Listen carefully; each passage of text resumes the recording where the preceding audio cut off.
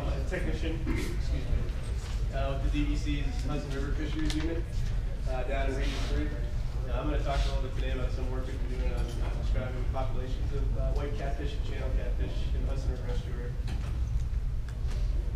Uh, so the reason we started looking at catfish in the estuary was uh, there's been an apparent uh, decline in white catfish abundance over the last 20 years that seems to have coincided with substantial increase in channel catfish around that same time. Uh, white catfish are native to the Hudson River estuary. Um, channel catfish are not. Uh, channel catfish were first documented in the Hudson uh, around the mid 1970s, uh, and since the late 90s or early 2000s, um, have become established in greater numbers. Uh, and just for some context, we think we all know where the Hudson River is, but it's a little south of us there. It flows 152 miles south from Troy into New York Harbor, um, and it's uh, an important uh, spawning ground and nursery area for several uh, anadromous species. Uh, this map here uh, is the native and non-native distribution of white catfish in the United States. Um, white catfish are native to Atlantic coastal drainages from New York south to Florida.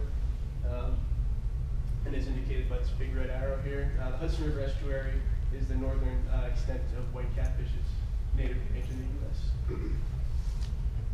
Uh, I think we all are probably aware that channel catfish have proliferated well outside of their native range in the United States and abroad. Um, but I wanted to point out that they are native to the Great Lakes range in western New York. Um, and it's speculated in the literature that um, one pathway uh, by which they arrived in the Hudson River might have been the Erie Canal. Uh, Rich talked a little bit about that earlier this morning. Uh, the second uh, hypothesis is uh, illegal stocking in uh, one of the major tributaries of the Hudson. And so, uh, one of the first uh, looks at channel catfish in the Hudson River estuary was Hughes and Carlson in the 1980s, uh, prior to channel catfish uh, becoming uh, established. Um, in their paper, they described the growth and life history of white catfish prior to channel catfish becoming established, uh, and they reported um, spawning occurring in the northern part of the estuary um, around July, primarily on sandy shoal habitats and rock piles.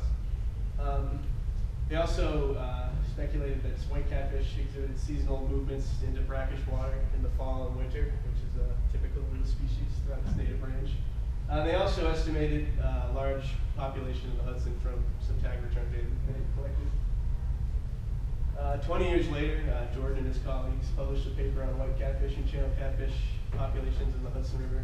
Uh, and they looked at um, habitat use and uh, growth. Um, and they documented uh, differences um, river-wide for white channel catfish habitat use uh, between the upper and lower estuary, and speculated that uh, their flexibility and habitat use may have been a mechanism uh, by which they were able to be established um, in the Hudson River. Um, they also looked at uh, uh, had age, age and length data for both white catfish and channel catfish, and reported that channel catfish grew faster than white catfish. Um, and they looked at uh, body condition in the Hudson River among their sampling regions and noted that white catfish um, had lower uh, relative weights values um, in the lower their lower sampling regions uh, compared to the upper part of the estuary, whereas channel catfish did not, uh, where relative weight did not vary in most sampling regions.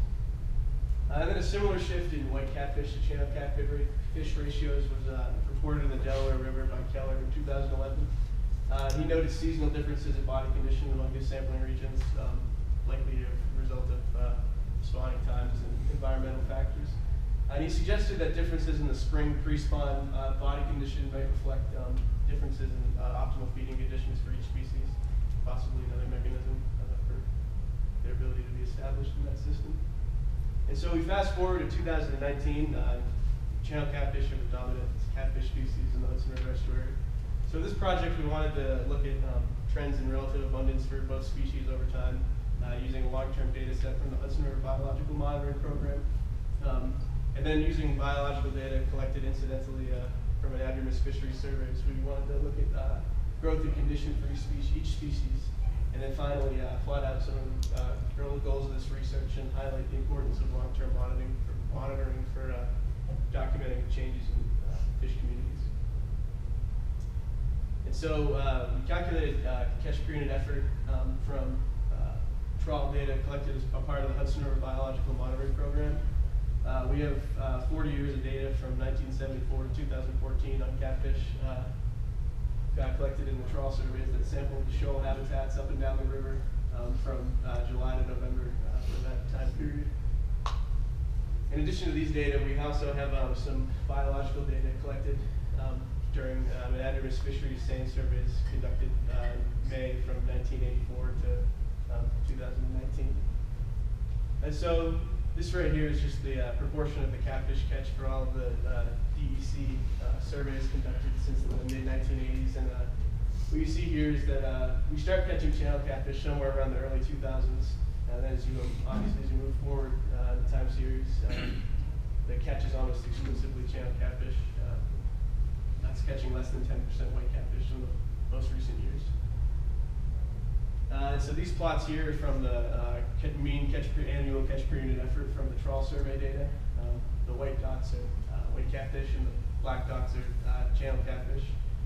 Uh, the plot on the left is looking at young of the year um, abundance from 1974 to 2014. Uh, we see uh, substantial increase in channel catfish young of the year abundance starting in the late 90s or early 2000s uh, as white catfish young of the year abundance drops to some of the lowest values in the time series at the same time. Uh, the plot on the right is looking at uh, catfish that are considered to be uh, yearlings or older from the, that same uh, trawl survey. Uh, and what we see is uh, around the mid 90s, uh, white catfish abundance seems to decline as channel catfish abundance increases. It's less pronounced for the adults though.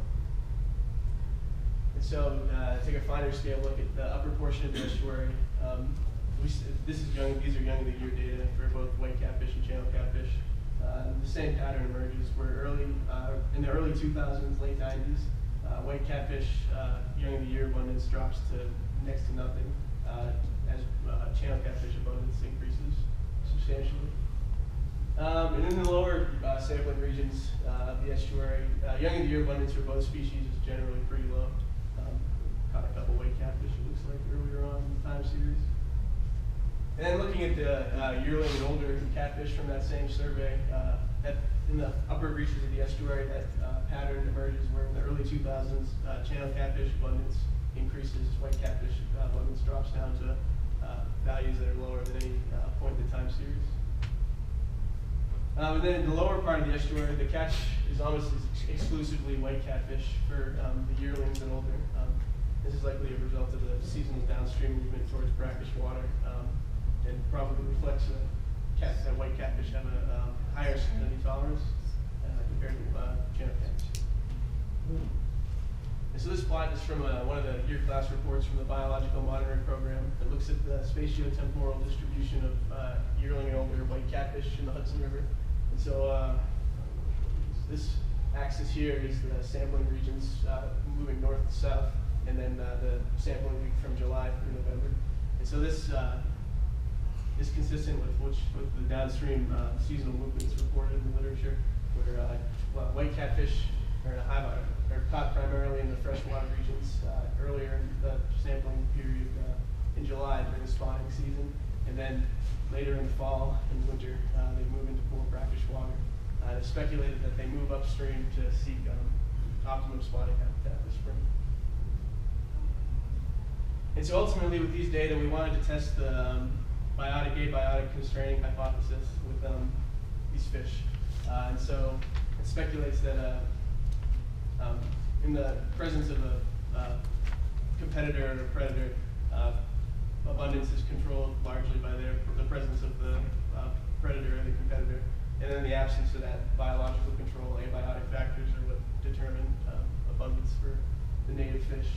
And so without controlling for abiotic factors, we just plotted out in the year channel catfish abundance against white catfish abundance. And it appears that um, for both yearlings and adult catfish, uh, white catfish abundance is highest uh, when channel catfish abundance um, is at its lowest.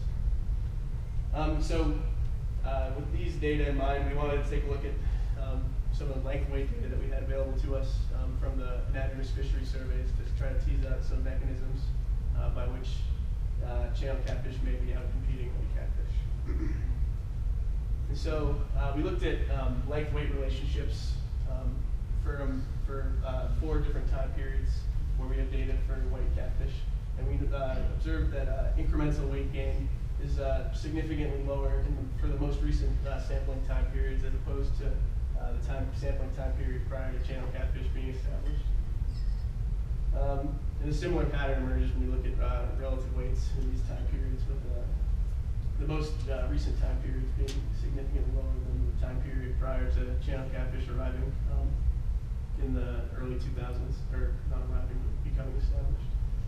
Um, and these fish were all collected in the spring as apart from for uh, in the anadromous fishery surveys targeting striped bass, American shad, and river herring. So these are all uh, pre-spawn, pre-spawn spring white catfish. Um, there's not a comparable uh, time series for channel catfish, but for the uh, time periods where we do have cat, uh, caught them in significant num- uh, numbers, uh, there's no change in uh, relative weight. And so the last three years or so, we've been aging these catfish with pectoral spines. These are just some preliminary mean length and age data that we have. Um, so from these data, it appears that uh, the first three years of life, uh, channel catfish and white catfish grow at a, um, at a similar rate. Uh, however, channel catfish do grow to a larger size than white catfish and appear to grow faster um, after age three, um, which is consistent with, with, with what's reported in the literature. And so just to summarize here, um, white catfish abundance has declined in the last 20 years, coinciding with the establishment of channel catfish in the estuary. Uh, and then river-wide, uh, high abundance of uh, white catfish appears to be dependent on a lower abundance of uh, channel catfish. Um, white catfish body condition is significantly lower um, for the most recent uh, time periods compared to time periods prior to channel catfish uh, being established in great numbers. And then um, from the data that we've collected so far, it appears that uh, channel catfish do indeed grow faster than white catfish in the estuary. And so obviously there's some limitations from using uh, incidental catch data to make inferences about these populations. Uh, moving forward, we want to continue to uh, take pectoral spines and uh, look at the age structure of catfish in the Hudson River and uh, build growth models from these data. Uh, and also take a um, finer scale look at abiotic factors that influence the abundance of catfish and to, so to test the biotic abiotic constraining hypothesis with these fish. And so these long-term monitoring programs are valuable for um, describing differences, changes in fish communities and the um, establishment of non-native and invasive species in uh, these systems. Uh, particularly important for quantifying the impacts of uh, freshwater invaders into the Hudson River estuary um, using these data. Uh, then incidental catch data from uh, our anadromous fisheries surveys are where we got